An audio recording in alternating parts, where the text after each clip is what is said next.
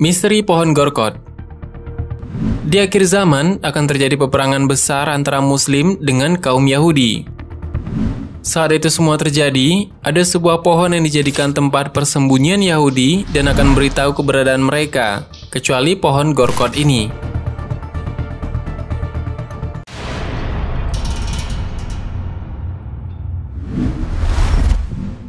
Untuk lebih jelasnya, bahwa kisah ini termaktub dalam hadis yang diriwayatkan Abu Hurairah radhiyallahu anhu bahwa Rasulullah SAW bersabda, Kiamat tidak akan terjadi sehingga kaum muslimin memerangi Yahudi. Lalu kaum muslimin akan membunuh mereka sampai-sampai setiap orang Yahudi bersembunyi di balik batu dan pohon.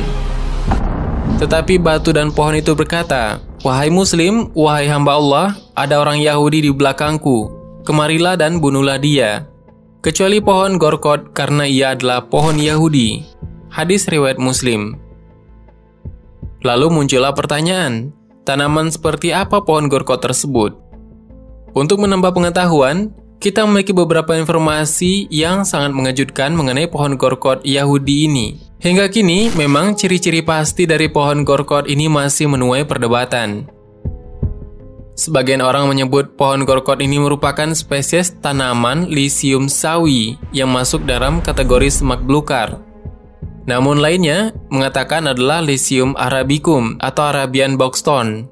Tanaman ini ditemukan di seluruh jazirah Arab dan tingginya dapat mencapai 4 meter. Karena adaptasi dengan lingkungan gurun dan cabang-cabangnya ditumbuhi duri. Ada pula yang mengatakan bahwa gorkot ini adalah Nitraria retusa Tanaman ini juga termasuk dalam kategori semak dengan tinggi hingga 2,5 meter. Rantingnya berbulu ketika muda dan menghasilkan bunga kecil berwarna putih atau hijau, dan buah merah kecil yang bisa dimakan. Kaum Yahudi mempercayai bahwa pohon gorkot akan menolong mereka dari kebinasaan hari kiamat. Dan dinyatakan bahwa pohon gorkot ini akan menjadi tameng untuk mereka hingga diperintahkan oleh Allah Subhanahu wa taala dan hanya Allah yang mengetahui alasannya. Dan ternyata setelah diselidiki, ternyata pada saat ini ada yang mengejutkan. Dan hal ini terbukti nyata apa yang diramalkan mengenai akhir zaman tersebut. Ada sebuah website Jewish National Fund menyebut bahwa kaum Yahudi telah melakukan proyek internasional Gorkot. Proyek penanaman pohon Gorkot di tanah Palestina dan hingga sekarang ini sudah ada sekitar 220 juta pohon yang telah ditanam di sana. Dan uniknya, mereka dengan serius dan profesional mengadakan program ini pada masa sekarang.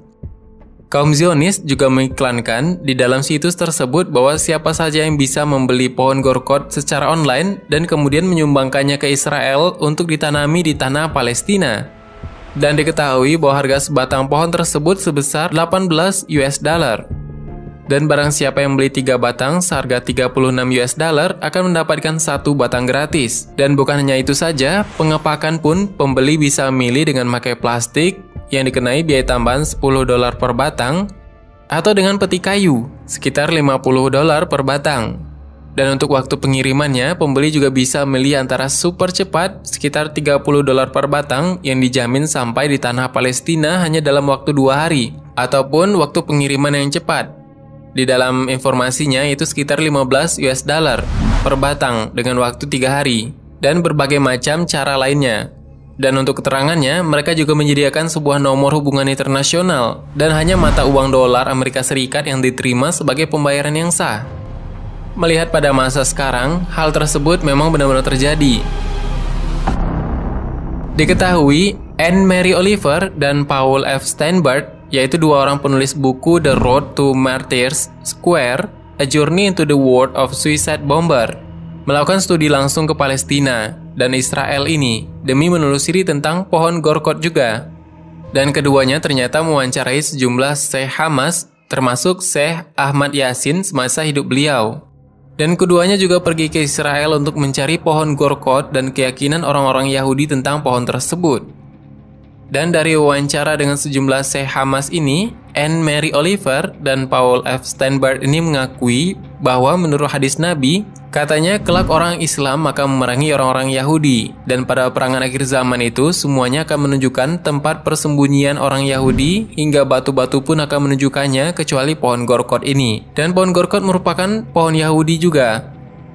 Dan ketika keduanya bertanya seperti apakah pohon gorkot itu, baru Syekh Hamas yang tengah diwawancara itu saat itu meminta keduanya pergi ke Israel dan bertanya pada orang-orang Yahudi di sana. Lalu Anne Mary Oliver dan Paul Stanbart ini lantas pergi ke Israel.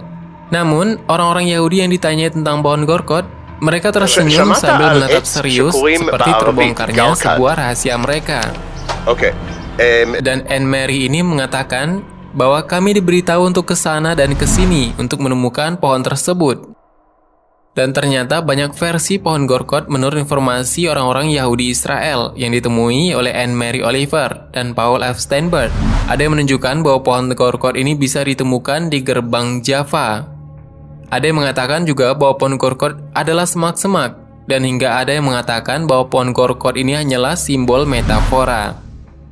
Kendati mereka memberikan beragam informasi yang tidak sama, bahwa pohon gorkot sangat dikenal di kalangan Yahudi Israel, khususnya kalangan nasionalis ortodoks. Dan ternyata mereka memasukkan hadis-hadis Nabi Muhammad tentang pohon gorkot itu di dalam kurikulum di SMA mereka, yang kemudian interpretasi oleh kalangan Islam sebagai bukti bahwa orang-orang Yahudi mengakui kebenaran hadis Nabi yang menubuatkan akhir nasib orang-orang Yahudi tersebut. Dan hal tersebut tentunya menjadi pertanyaan bagi kita mengenai pohon gorkot dan peperangan akhir zaman yang melibatkan pihak Muslim dan pihak Yahudi. Jadi menjadi pertanyaannya adalah apakah peperangan akhir zaman tersebut tidak memakai senjata yang canggih? Dan kenapa pada saat itu semua berbagai hal dapat berbicara di bumi ini, seperti batu dan tanaman lainnya, seperti yang terdapat dalam hadis. Dan kenapa persembunyian ini menjadi hal yang penting bagi mereka?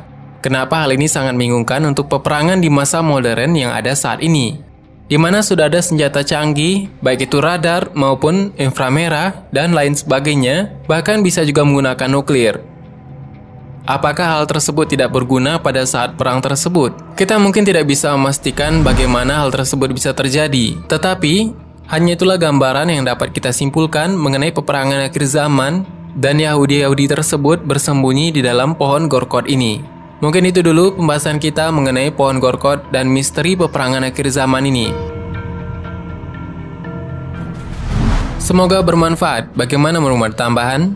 Silahkan berikan tanggapan dan komentar-komentar di bawah. Sebenarnya sangat banyak hal yang belum akan kita bahas. Tetap menonton video selanjutnya tekan tombol subscribe dan klik icon lonceng berada di sebelahnya. Terima kasih sudah menonton akhir video ini. Kami doakan semoga sehat selalu. Sampai jumpa lagi.